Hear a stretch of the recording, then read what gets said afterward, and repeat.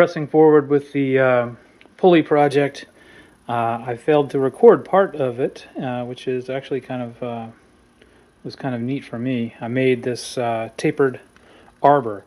The pulley has a 5 8 uh, interior bore, and so you know they sell these tapered arbors. Not very expensive or anything, but I just you know felt like, hey, let's see if I can make one. Um, so just by adjusting the tailstock over a little bit, um, I got it to where at this end I've got uh, 0.623 or 622, I think, and then down at this end I've got 0.627. Uh, this actually has uh, the the interior bore is a little bit shy of 625 at the moment because I was I've got a reamer, but I've got to do some adaptation to make the reamer work with my equipment. So for the time being, I used a boring bar and got it out to 624. So you know it fits about right here. You know, not too bad. Um, anyway, so kind of proud of that. First time I got to use my uh, um, lathe dogs. You know, this the uh, first time I've turned between centers. Put it that way. Everything up till now that I've done has always been using um, the three jaw chuck at this end. I don't own a four jaw yet. Uh, so so far so good. Taper seems to be working fine. I started my first rough cut on this, and I'll take a few more thousands. This is a five inch um, blank that I've got to turn down to four inches.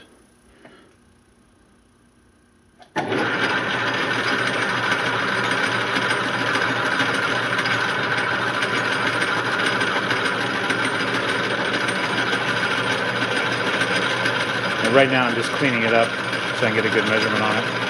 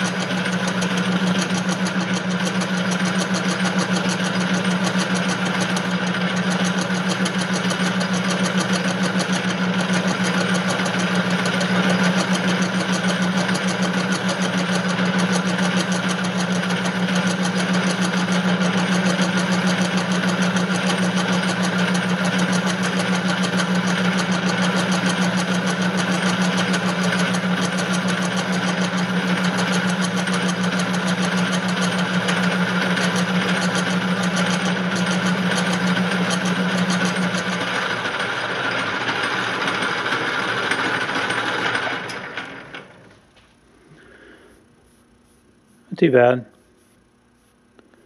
I think maybe the tip of my uh, my insert here might be a little a little beat. Might have been sharpened up a little bit. It should have a little bit of radius. I've had better finishes from it off. you know, I get conflicting advice on the web about aluminum. Um, you know, don't use carbide, use carbide. Uh, better to cut dry, better with some kerosene or whatever. Um, anyway, I I think up till now I've gotten better finishes uh, with carbide than with my high speed steel, but that could come down to how well I'm cutting my high speed steel. I've ordered some uh, some new um, tool holders uh, so that I can have some ready in high speed steel and not have to be changing out you know, uh, when I want to just switch back and forth and experiment. I'm kind of lazy about that. And so for right now, I'm just uh, leaving this carbide in here. I might flip it around and go to a different point and see if I get a better finish. Alright, so I had a little bit of a battery goof. Um, long story short, I decided to go ahead and come back to uh, a high-speed steel bit uh, because I was not, I mean, you can probably hear this going, or see the serrations there. So we'll see how much better the finish looks on this one, using this one.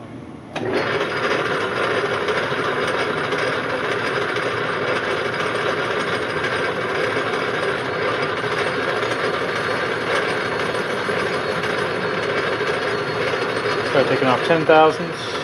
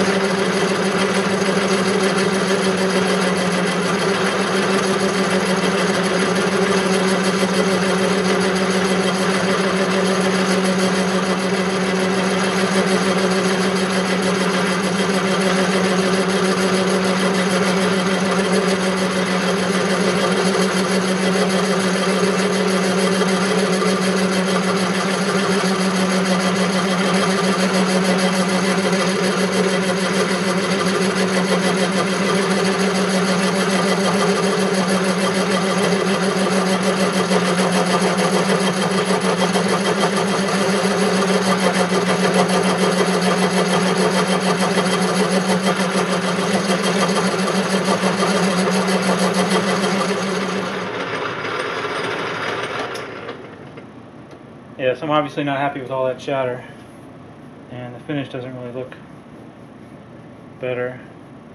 And it's probably a function of all that chatter. So, I'm going to figure out what's going on here. What I could tighten. Actually, that looks like that's gotten a lot looser than it should be. So, I'll come back just after doing some tightening and see uh, see how much uh, difference. Alright, I thought this angle might be better. So I'm uh, gonna try again.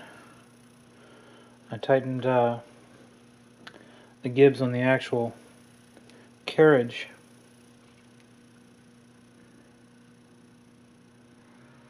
And I went back to the shallower angle of attack for the